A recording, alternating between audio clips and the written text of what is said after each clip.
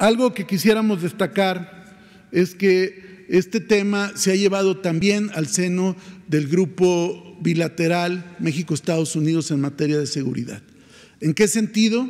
En poner el énfasis que gran parte de la problemática que hoy se enfrenta tiene que ver con el maltratamiento que ha habido a las adicciones.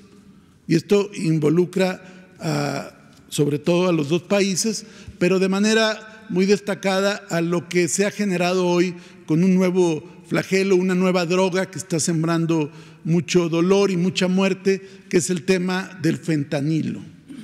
El fentanilo que señalaba el presidente es una droga 100 veces más tóxica que la morfina y 50 veces más dañina que la heroína.